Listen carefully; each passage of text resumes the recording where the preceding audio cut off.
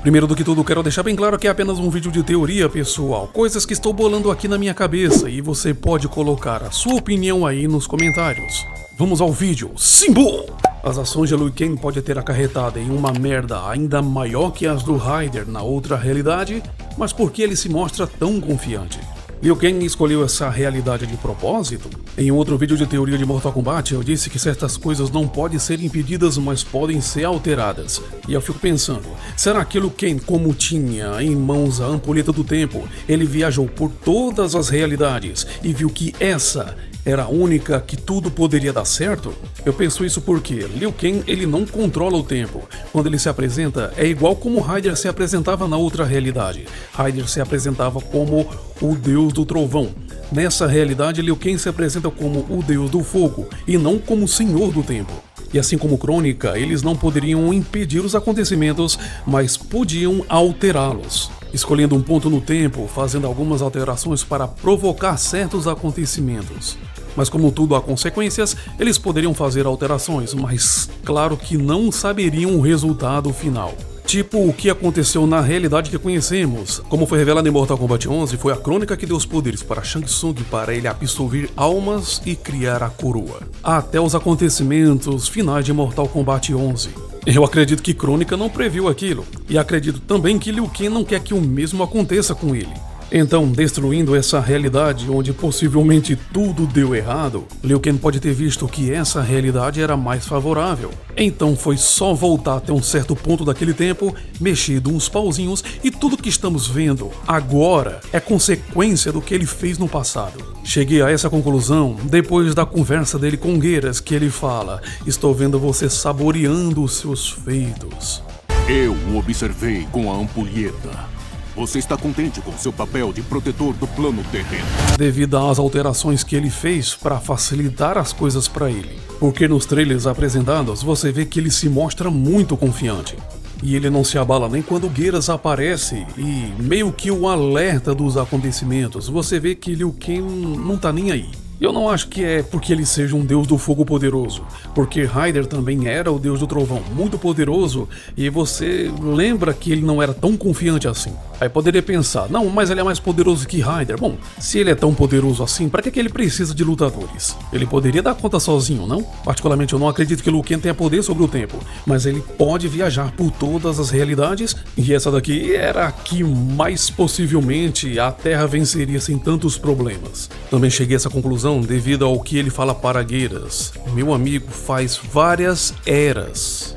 Gueiras, meu velho amigo, já faz eras. Isso pode significar muita coisa, ou simplesmente faz tempo nessa mesma realidade, ou pode ser que ele tenha passado por várias outras realidades. Como foi mostrado no MK11, que a crônica retrocedeu o tempo e eles voltaram para o tempo dos dinossauros, Liu Kang e Giras também podem ter passado por várias realidades. Ou não, eu tô só chutando aqui evitando assim os acontecimentos e as merdas que aconteceram nas outras realidades, onde todo mundo morre, aí volta de novo, aí morre de novo. É, vocês já conhecem, né? Mas como falei no começo do vídeo, talvez as ações de Liu Kang pode ter acarretado em uma merda ainda maior. Ele chegou a um ponto específico dessa realidade e fez algumas, assim, mexeu os pauzinhos para que certas coisas aconteçam da maneira como ele queria. Sim, exatamente isso que eu quero dizer. Liu Kang trapaceou para provocar alguns acontecimentos nessa nessa realidade. Usou cheat para vencer. Você alterou os destinos de alguns malfeitores para neutralizá-los. E isso se mostra ainda mais claro quando Crônica diz para Shang Tsung que ações foram feitas antes mesmo de ele nascer.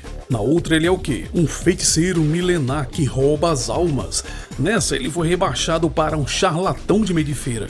Uma ação propositalmente mudada por Liu Kang, para que Shang Tsung não seja uma ameaça. Mas o que foi mudado na história de Shang Tsung é como ela acontece, mas não muda o potencial do feiticeiro.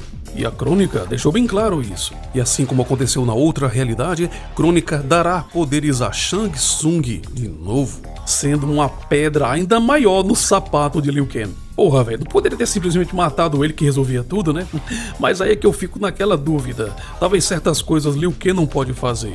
Porque na outra realidade Hyde reportava tudo aos deuses anciões. E nessa, será que Liu Kang faz a mesma coisa ou ele está por conta própria? Eu tenho lá minhas dúvidas, que como eu disse, podia resolver o caso de Shang Tsung simplesmente matando ele, mas não fez.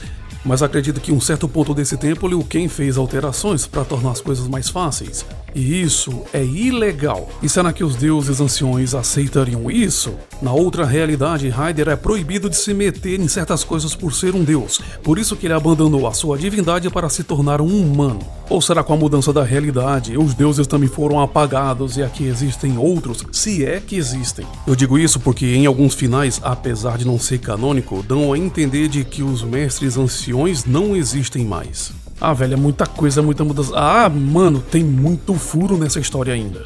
Mesmo porque nessa realidade, todo mundo vive em paz. Você vê mesmo em trailer aí que os Shokans e Centauros, que na outra realidade são inimigos mortais, aqui tá todo mundo vivendo de boa.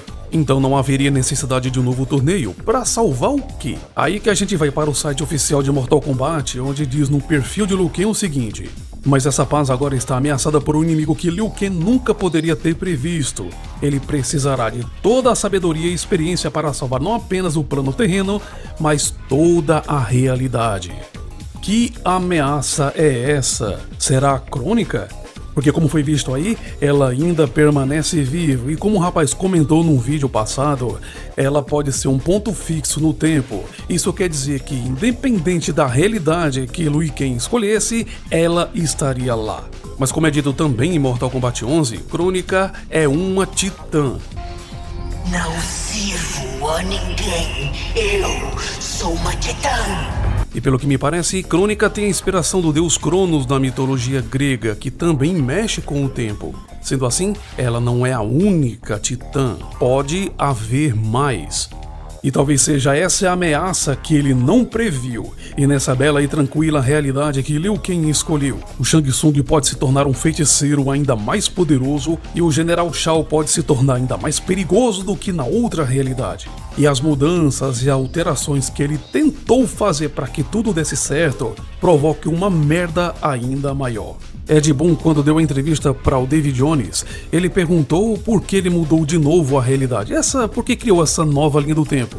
O Ed disse que queria fazer uma coisa nova, porque às vezes que eles resetaram a história, contou de novo o 1, o 2 e o 3. Então eles queriam criar uma coisa nova. Bom, pra falar a verdade, ele não explicou nada, ele só falou isso. Das 200 mil vezes que Ed Boon dá com a língua nos dentes, esse não foi o caso. Não falou nada.